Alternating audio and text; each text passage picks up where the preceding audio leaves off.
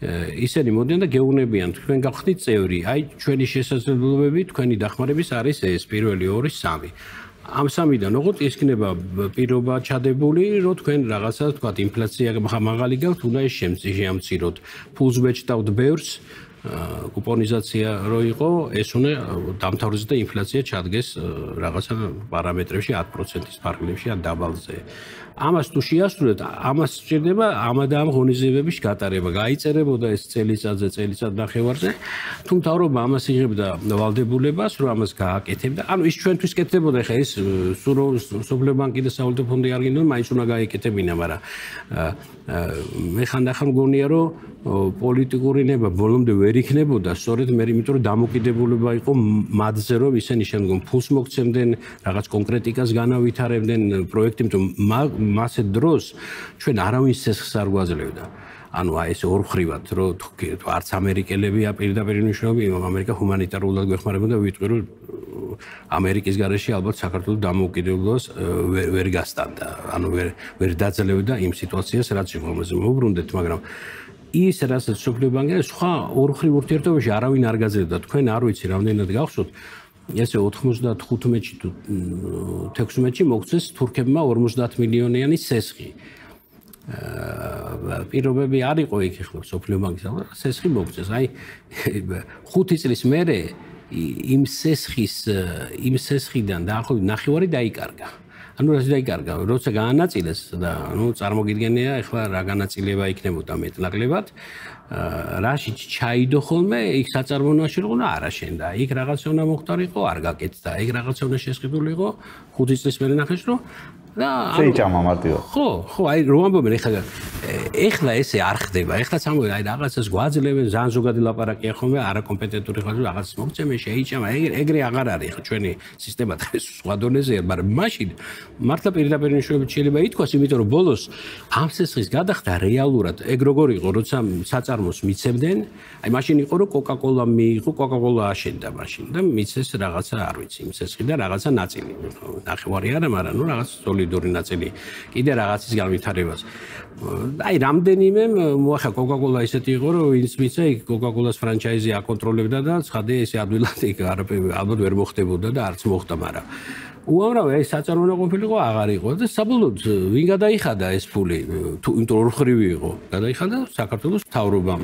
თავრობის ფული ვისია ხალხის მიერ აკრეფილი გადასახადებით და ის დაიკარგა. ამიტომ იმ მომენტში ხელისუფლებას არანაირი სხვა ვერანაირი მქონდა ორხრივი სესხები დაბალი რაოდენობის აი ეგეთი ყოგონი თუ არ მეშლება ავსტრიის თავრობასთან და უდაური სასტუმრო რო აშენდა. მაშინ ინვესტორიც იყო ავსტრიელი და იმან ავსტრიის თავრობას თხოვა და მაგრამ გარანტიები საქართველოს თავრობასთან და აშენდა აი მაშინ პირველი სასტუმრო ესე კი საერთაშორისო დონის იყო უდაური.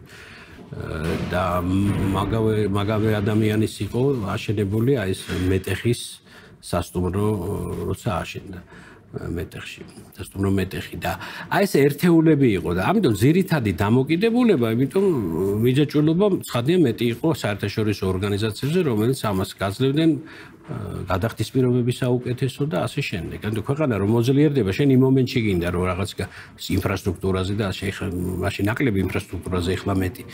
მაგრამ ეს შემდგომში ჩვენ დეფოლტი არასდროს არ ქონია საქართველოს იმ სესხების გადახდაზე, რაც სოფლიო ბანკიდან ავიღეთ. ეხლა ძალიან გაიზარდა კიდევაც, მაგრამ შენ როცა გინდა ინფრასტრუქტურა ანუ სესხის აღება და ის რაღაც კვოტები არსებობს იმის ზემოთ ვერ ახვალ იქიდანაც იმაზე მეც არ მოგცემენ, მაგრამ თუნდაც ინფრასტრუქტურული პროექტები როა ეხლა გზები რო შენდება და რაღაც ხო? მაშინ ამ ამდენს არავინ მოგცემდა და მაგრამ ეს ეხლა გჭირდება ქვეყანას რომ განავითარო ეხლა არ გაქვს შენ ეს გზა. პირობები რა იყო? ძლიერია და 20 წლის მერე შენ გადაიხდები შენი ეკონომიკა შეიძლება სამმაგი გახდეს და ის გადახდა. ჯდება მერე GDP-სთან რაც გვაქვს ჩვენ თქვა ევროკავშირის პარამეტრი. იმაში ეტევა და ის ბიუჯეტი და ის ფული გააქვს მაგრამ ერთად მობილიზაციას ეგრე ვერ გააკეთებ და ქვეყანა რომელ ქვეყანას რო ესეს ხო ბევრად ზვირი დაგიჯდება ეს ყველაფერი. და პირობები რა იყო ამ ფულის? ანუ სამაგიერო ჩვენ რა უნდა გვექნა? როგორი ქვეყანა უნდა ყოფილიყავით? ანუ რა რწმენა შემოდიოდა ამ დახმარებისამას მან პოლიტიზირებული დამერწმუნეთ რომ არაფერი არ იყო მნიშვნელოვნად პოლიტიზირებული. გარდა იმისა რომ სტაბილური ეკონომიკა ყოფილიყო. ანუ ეკონომიკის სტაბილიზაცია რაც ნიშნავს რომ მაკროპარამეტრები უნდა ყოფილიყო მდგრადი, ანუ GDP უნდა გაზრდილიყო, ინფლაცია, ну, საუკეთესო ვარიანტი ვიცით 2-3%, მაგრამ ну, რაღაც ერთ ერთ one digits რო ამბობენ, ერთ ციფროვანი ინფლაცია ხა 9 ბევრია, მაგრამ ну 5, 6, 4 და ნუ ახლა ეს მისიები ხო სულ ჩამოდიან წელიწადში ორჯერ ჩამოდიოდა ძამძიმე მოლაპარაკებები იყო ახლა ჩვენ ზივარ ჩაუბროთ მაგრამ მე ხა იმ მოლაპარაკებზე მინახია რომ აი ახლა ჩაშლა არ ყოფილა, მაგრამ რომ აი გავჩერდეთ და მოდით ხარები გავ არაერთხელ რომ აი შევწყვიტეთ მოლაპარაკება, წავედით ჩვენ ვლაპარაკობთ, რაღაცა ისეც ითხოვენ რომ პრეზიდენტის გარეშე ვერ გადაწყვიტა, მე პრეზიდენტს ვეუბნებით რომ ესეთ ახლა მე არ ვიყავი წამყვანი, მაგრამ მე მონაწილე ხშირად ვიყავი, იმიტომ რომ მე ვისება რა ქართული მხრიდან ესეთი საკითხები. თემურ ბასილიას მოლაპარაკებები. ნუ თემურ ბასილია გამოიხატა ამ შემთხვევაში პრეზიდენტ შეველი იყო. ზოგადად ტრადიციულად ქვეყნებში მოლაპარაკება როგორ არის? ეროვნული ბანკის საკითხებში ეროვნული ბანკის პრეზიდენტია და როგორც წესი უმეტეს ქვეყანაში მოლაპარაკებებს უფრო ფინანსთა მინისტრი აწარმოებს. თუ რაღაც სფეროს საკითხია, მაგრამ ჯამში დელეგაციას ხელმძღვანელობს ფინანსთა მინისტრი ხომ არა. ჩვენთან იმ მომენტში ესე ჩამოყალიბდა პირველ წლებში, რომ პრეზიდენტის ეკონომიკური რჩეველი იყო, ასე ვთქვათ, ამ ჯგუფის ხელმძღვანელი, სადაც ეროვნული ბანკის პრეზიდენტი, ფინანსთა მინისტრი, ეკონომიკის მინისტრი, ну ჩამოგიწვის ხო იმ მომენტში ეს 95 წლიდან ნოდარ ჯავახიშვილი იყო ეროვნული ბანკის პრეზიდენტი ფინანსთა მინისტრი ჯერ დავით იაკობიძე იყო აი იმ პერიოდში ვამბობდა მე მიხეილ ჭკუასელი ნუ მე მე ვიყავი 98-დან და ვლადიმერ პაპავა პროფესორი კარგი პროფესიონალი და ძალიან ბევრი კარგი წვლილია თამოლაპარაკებს შეტანილი ის იყო ეკონომიკის მინისტრი მაგრამ ჯგუფს ხელმძღვანელობდა ეკონომიკურ რჩეველი ამ შემთხვევაში თემურ ბასილია. მაგრამ ნუ აი ამ 4 წელიწადში ჩვენ მათთან კარგი ურთიერთობა ჩამოვაყალიბეთ.